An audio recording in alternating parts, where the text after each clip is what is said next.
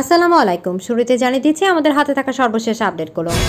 মধ্যপ্রাচ্য থেকে হিন্দু, উগ্রপন্থীদেরকে কেন বহিষ্কারের আহ্বান সৌদি স্কলারের? এরপর আপনাদের জানাব একটি বিশেষ প্রতিবেদন। আরব, ন্যাটো ও ইরান প্রসঙ্গে যে কঠিন ইঙ্গিত দিল সৌদি আরব। শ্রীলঙ্কার মতো ঝুঁকিতে রাশিয়া, বেলারুশ সহ আরও যেসব দেশ। কাশ্মীর থেকে কেন পালাচ্ছে হিন্দুরা, বাড়ছে হত্যাকাণ্ড? এরপর আরও থাকছে, তুরস্ক এখন কিসের জন্য আরও শক্তিশালী?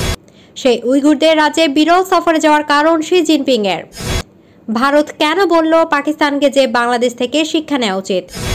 সর্বশেষ আমাদের হাতে যে চাঞ্চল্যকর নিউজটি আছে, যে দেশে গ্রামে বাস করলে দেয়া হচ্ছে আটাশ লাখ টাকা।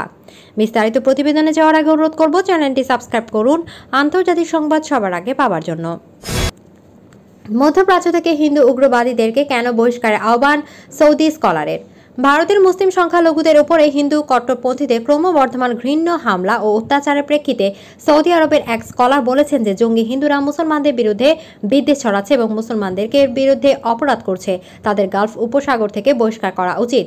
প্রধানমন্ত্রী নরেন্দ্র মোদীর নেতৃত্বে ক্ষমতাসীন ডানপন্থী বিজেপি সরকারের অনুগত হিন্দুরা করোনা ভাইরাস ছড়িয়ে দেওয়ার জন্য মুসলমানদের দোষারোপ করায় ভারতে মুসলমানদের উপর এই ধরনের অত্যাচার বেড়েছে।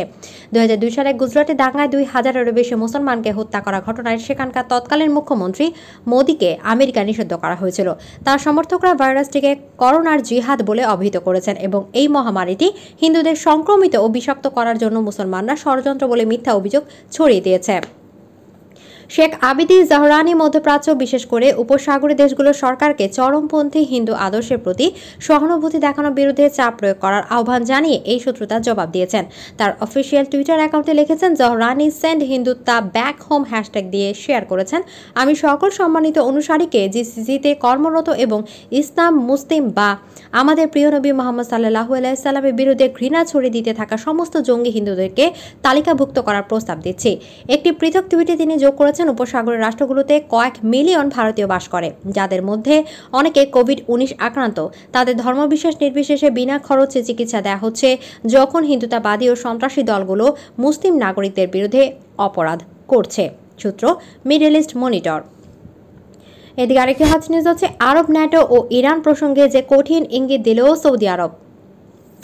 জেদ্দা মার্কিন প্রেসিডেন্ট জো বাইডেনের সঙ্গে আরব নেতাদের শীর্ষ সম্মেলনে আরব ন্যাটো গঠনের প্রস্তাব উত্থাপন করা হয়নি বলে জানিয়েছেন সৌদি পররাষ্ট্রমন্ত্রী ফয়সাল বিন ফরহাদ।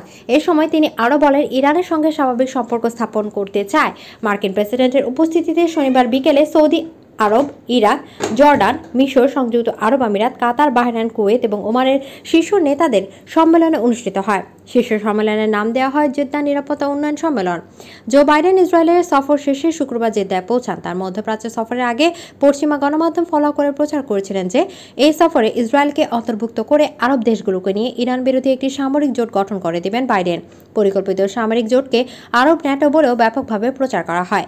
কিন্তু শেষ পর্যন্ত কিছু আরব দেশের বিরোধিতার মুখে সেই ধরনের কোনো জোট গঠনের প্রস্তাব উত্থাপন করা হয়নি। সৌদি পররাষ্ট্রমন্ত্রী শনিবার এক বক্তব্যে বলেন, সৌদি আরব ইরানের দিকে বন্ধুত্বের হাত বাড়াচ্ছে এবং তাদের সঙ্গে স্বাভাবিক সম্পর্ক স্থাপন করতে চায়। ফয়সাল বিন ফারহাদ আরও বলেন, ইরানের সঙ্গে ধারাবাহিক সংলাপ ইতিবাচক গতিতে অগ্রসর হলেও এখনও চূড়ান্ত ফল আসেনি। তবে শিগগিরই এই ব্যাপারে ফল ভালো পাওয়া যাবে বলে তিনি আশা প্রকাশ করেন। ইরানের পারমাণবিক কর্মসূচি নিয়ে সৃষ্ট সমস্যা সমাধানের ক্ষেত্রে কূটনীতিকেই তিনি সর্বোৎকৃষ্ট ও একমাত্র পথ বলে মন্তব্য করেন। সৌদি পররাষ্ট্রমন্ত্রী দাবি করেন, জেদ্দা সম্মেলনে তো দূরের কথা, এর আগেও কখনো ইসরায়েলের সঙ্গে সামরিক বা প্রযুক্তিগত সহযোগিতার আগ্রহ দেখায়নি সৌদি আরব। ফয়সাল বিন ফারহাদ বলেন, আরব ন্যাটো নামের কোনো কিছুর অস্তিত্ব নেই। আমি জানি না এই নামটি কোথা থেকে এসেছে। যে দা সম্মেলনে এরকম কোনো কিছু নিয়ে আলোচনা হয়নি, সূত্র সৌদি গ্যাজেট, ইরান প্রেস। এদিকে আরেকটি হাজ নিউজ হচ্ছে, শ্রীলঙ্কার মতো ঝুঁকিতে রাশিয়া, বেলারুশ সহ আরও যেসব দেশ। চরম অর্থনীতি সংকটে তীব্র গণবিক্ষোভের মুখে শ্রীলঙ্কা সরকারের পতন ঘটেছে। মূলত ঋণ খেলাপি হওয়ার পর থেকেই সংকট নেমে এসেছে শ্রীলঙ্কার অর্থনীতিতে। শ্রীলঙ্কা, লেবানন, রাশিয়া, সুরিনাম এবং জাম্বিয়া ইতিমধ্যে ঋণ খেলাপি তালিকায় রয়েছে। বেলারুশও ঋণ খেলাপি হওয়ায় দ্বারপ্রান্তে রয়েছেন এবং কমপক্ষে আরও ডজন খানেক দেশ ক্রমবর্ধমান ঋণের খরচ, মুদ্রাস্ফীতি সহ বিভিন্ন কারণে সব দিক থেকেই অর্থনৈতিক পতনের আশঙ্কা রয়েছে। বার্তা সংস্থা রয়টার শনিবার এক প্রতিবেদনে এসব তথ্য জানিয়েছেন। অর্থনৈতিক সংকটের মুখে থাকা দেশের তালিকা চমকপ্রদ। এই তালিকার শীর্ষে রয়েছেন আর্জেন্টিনা, এরপরে রয়েছে মিশর ও ইকুয়েডর। আর্জেন্টিনা সবসময় ঋণ খেলাপি তালাইকা থাকা আর্জেন্টিনা তার বিশ্ব রেকর্ড ধরে রাখতে পারে বলে মনে হচ্ছে। পেশো এখন কালোবাজারের প্রায় পঞ্চাশ শতাংশ ডিসকাউন্টে লেনদেন করা হচ্ছে। দেশটি রিজার্ভও খুব কম। এদিকে আরেকটি আরেকটি হট নিউজ হচ্ছে, কাশ্মীর থেকে কেন পালাচ্ছে হিন্দুরা, বাড়ছে হত্যাকাণ্ড? কাশ্মীর থেকে পালাচ্ছে হিন্দুরা, বাড়ছে হত্যাকাণ্ড, ভারত নিয়ন্ত্রিত কাশ্মীরের সেনাটহল গত বছরের শেষ থেকে বর্তমান পর্যন্ত ভারতের নিয়ন্ত্রিত কাশ্মীরে হিন্দুদের উপর ধারাবাহিক হামলা ও হত্যাকাণ্ডের ঘটনায় সেখানে আতঙ্ক সৃষ্টি হয়েছে। এ কারণে গত মাস থেকে শত শত হিন্দু সেখান থেকে পালিয়ে অন্যত্র চলে যাচ্ছেন। এ সপ্তাহের শুরুতে সন্দেহভাজন বিদ্রোহীরা কোলগ্রাম জেলার একটি সরকারি স্কুল গ্রেডের কিছু হিন্দু শিক্ষিকা রজনী বালাকে গুলি করে হত্যা করেন। তিনি এই সরকারি স্কুলে পড়তেন। দুই হাজার উনিশ সালে ভারত শাসিত কাশ্মীরে সীমিত স্বায়ত্তশাসন বাতিল আইন করার পর থেকে সেখানে সহিংসতা বেড়েছে। এরপর এ অঞ্চলে হিন্দুদের উপর হামলা বেড়েছে। কাশ্মীরি বিদ্রোহীরা এই অঞ্চলে ভারতীয় শাসনের সহযোগী হিসেবে পুলিশ ও অন্যান্য বিভাগ সরকারের কর্তৃক নিযুক্ত পণ্ডিতদের শত্রু বলে মনে করে। এসব বিদ্রোহীরা উনিশশো আশি এর দশকের শেষ দিকে নয়াদিল্লির বিরুদ্ধে সশস্ত্র বিদ্রোহ চালাচ্ছে। একটি স্বাধীন কাশ্মীর রাষ্ট্র বা প্রতিবেশী পাকিস্তানের সাথে এর একীকরণের দাবিতে তারা সংগ্রাম করছে। উনিশশো উননব্বই সালে শুরু হওয়া সশস্ত্র বিদ্রোহের প্রায় আড়াই লাখ হিন্দু ভারত শাসিত কাশ্মীর থেকে পালিয়ে যায়। মূলত হিন্দুদের হত্যা ও তাদের বাড়িতে হামলা দেখে তারা পালিয়ে যান। ভারতের এই অঞ্চলের পুলিশের দু হাজার আট সালের এক প্রতিবেদন অনুসারে উনিশশো উননব্বই এবং দু হাজার আট সালের মধ্যে এখনকার নিজস্ব মামলাগুলোর উপর এক সমীক্ষা পরিচালনার পর দেখা গেছে যে বিদ্রোহীরা ওই সময়ের মধ্যে দুশো নয় কাশ্মীরি পণ্ডিতকে হত্যা করেছে।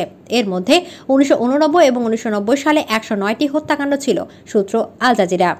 আরেকটি হাত নিউজ হচ্ছে তুরস্ক এখন কিসের জন্য আরও শক্তিশালী? তুরস্ক এখন আরও শক্তিশালী।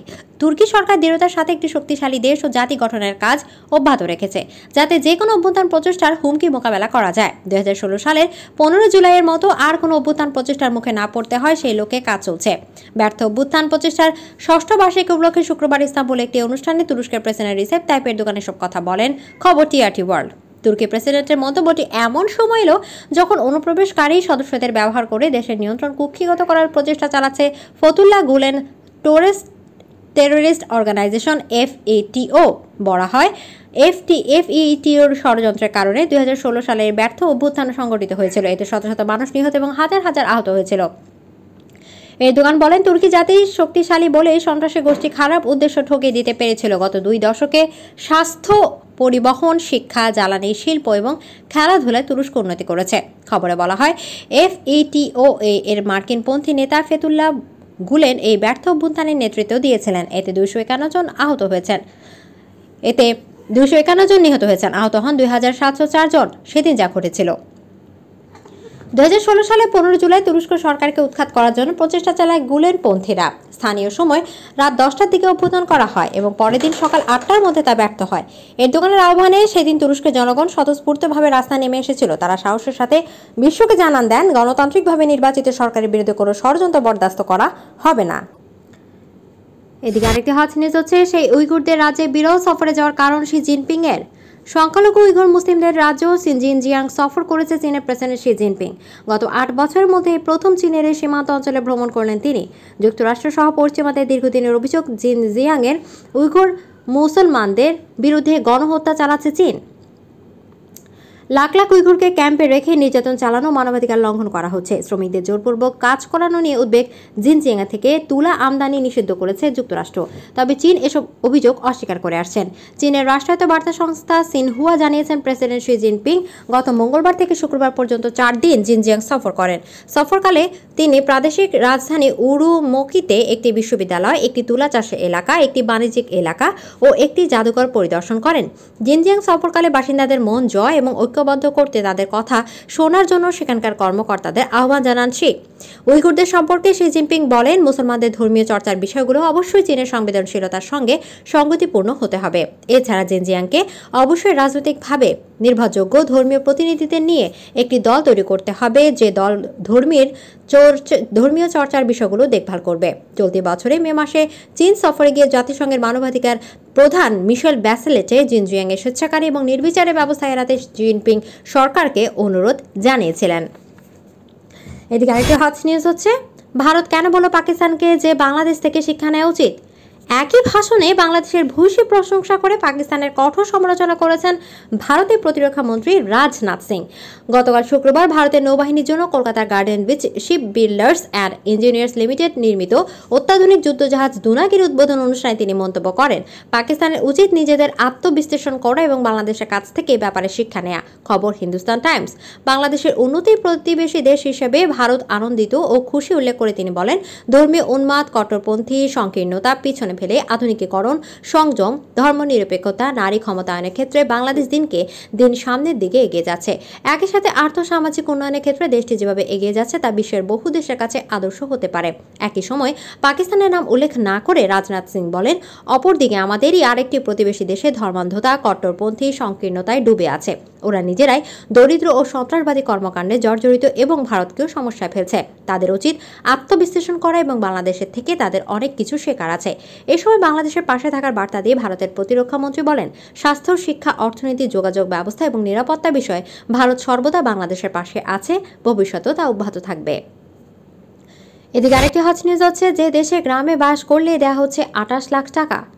বিশ্বব্যাপী সামাজিক যোগাযোগ মাধ্যমের বরাতে প্রায় অবাক করা অনেক বিষয় আমাদের সামনে আসে এর মধ্যে কিছু ঘটনা বিশ্বাসযোগ্য না হলেও সত্য বলে জানা যায়। যেমন, ইতালি গ্রামে বাস করলে দেয়া হচ্ছে আটাশ লাখ টাকা। খবর সিএনএন এর। জানা গেছে, ইতালির দক্ষিণ পশ্চিমাঞ্চলে ক্যালাবরিয়া অঞ্চলে অবিশ্বাস্য এই সুবিধা দেয়া হচ্ছে। তবে এক্ষেত্রে সেখানে গিয়ে আগে আপনাকে রেস্তোরাঁ বা দোকান খুলতে হবে এবং আবাস গড়ে তুলতে হবে। তাহলে সরকারের পক্ষ থেকে তিন বছরে তিরিশ হাজার মার্কিন ডলার পাওয়া যাবে, যা বাংলাদেশের মুদ্রায় প্রায় আটাশ লাখ ডলার টাকা সমান।